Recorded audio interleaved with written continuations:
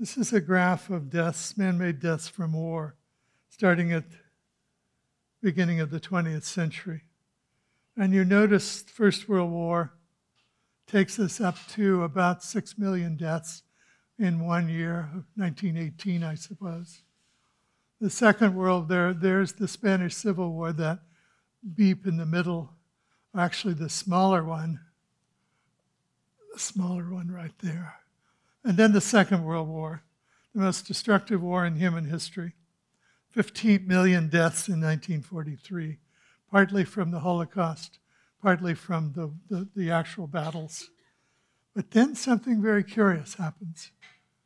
In 1945, deaths, man-made deaths from war drop to a low of around 2 million and pretty much stay there for the rest of the 20th century and up to today.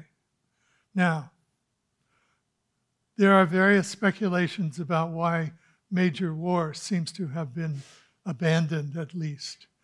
And I think the only one that's really credible is that nuclear weapons made the kinds of wars that, that, that blighted the 20th century no longer possible to fight. The dream of the 30s was that aerial bombardment would be a sufficient deterrent to stop war, but it wasn't destructive enough.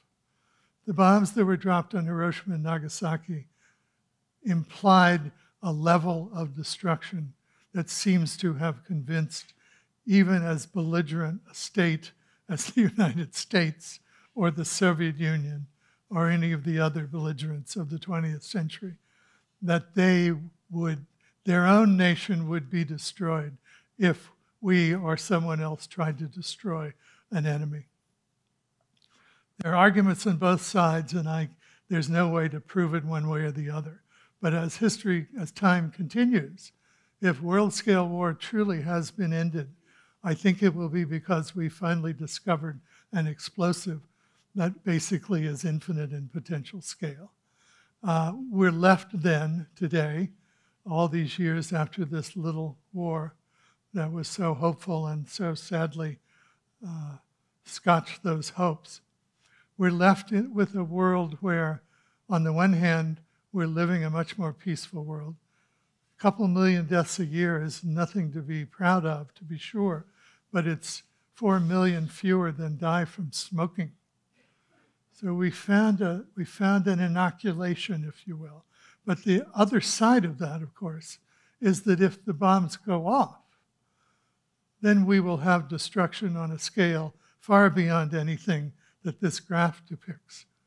Even it turns out a small regional nuclear war, say between India and Pakistan, would produce sufficient smoke and soot from burning cities to cause a drop in average annual temperatures worldwide of about two to three degrees, which is enough to reproduce the summer without a, the year without a summer of 1816, when the volcano Tambora caused the, the sun to be darkened enough to cause hard freezes in New England in July.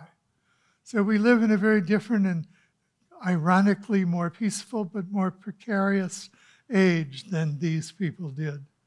And I think perhaps the last thing I would say is it's probably a lot harder to be heroic.